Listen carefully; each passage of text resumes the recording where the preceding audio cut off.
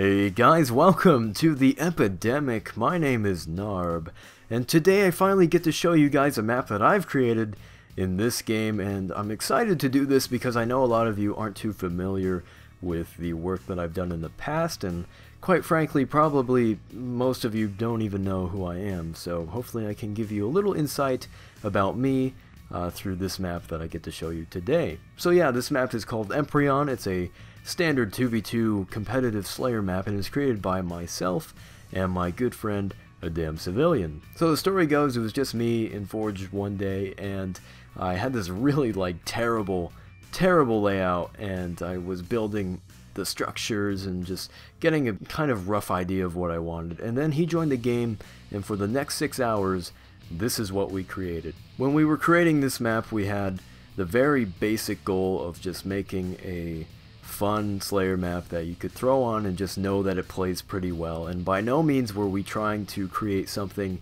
that was super MLG, hyper competitive, trying to get it into matchmaking or anything like that. Uh, I've actually been through that process before of getting a map into matchmaking and uh, it was back in the days of Halo 4 when they were updating Flood and actually I was able to get one of my maps in there if you remember the map called Payload uh, yeah that was mine and the process of doing that is ridiculous it takes so long and it's crazy and it, I don't want to go through that ever again. I'm not saying that anything has like popped up recently where you can get your map into matchmaking and honestly I doubt that they'll even do that but for the sake of comparison I'm just saying that this is not a map that should be taken extremely seriously. This is just a good map that plays well and something that you could throw on to have fun with. That's that's all it is. So the type of power weapons on this map include a sniper rifle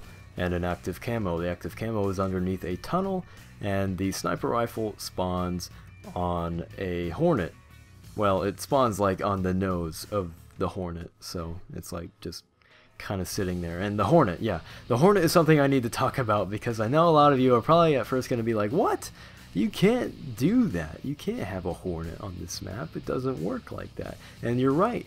This map would play terrible if there was a functional Hornet on this map. However, this is an aesthetic vehicle. Now, I do not promote doing this on competitive maps, especially for new forgers. This is kind of something that you want to stay away from because aesthetic vehicles make people confused and then they run towards them and they get frustrated because they try to get inside of them and they can't and they can't drive them and then they die and then it's just bad all it's bad all over so uh, it's something that you normally want to avoid however in this case we're kind of using it as a call out or a landmark, if you will. So there you go, that's just a basic overview of this map, and I really don't want to go into too much more detail because when you review your own map, it kind of seems a little weird sometimes because you could just talk about it forever.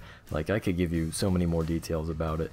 But I don't want to come off like arrogant and like overhype this map too much because it's just strange. So I'm going to leave the rest for you guys to figure out for yourself. So if you want to download this map, feel free to. There are instructions on how to do that in the description down below. But again, thank you guys so much for watching, and I'll be seeing you in the near future.